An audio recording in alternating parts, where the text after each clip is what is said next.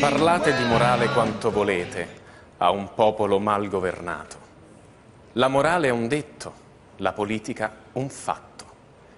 Anche la vita domestica, qualunque cosa umana, prende forma dalla natura generale dello stato pubblico di un popolo. Gli italiani non hanno costumi, essi hanno delle usanze. Così tutti i popoli civili, che non sono nazioni. Voi rende- ci rendiamo conto che cosa scrive Leopardi in questo passo dello Zibaldone? Voi vi ricordate che uno degli slogan, voi che avete vent'anni, del 68 era il privato è politico, ve lo stava scritto sui muri, io me lo ricordo. Leopardi dice la stessa cosa, lo dice un secolo e mezzo prima.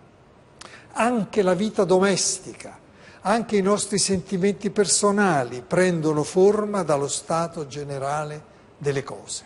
Ma è un'intuizione straordinaria che lui fa, di questo mettere in comunicazione quello che è l'interiorità di ognuno di noi, i pensieri che coltiviamo, i sentimenti e la condizione politica, quindi generale, quindi politica nella quale ci troviamo.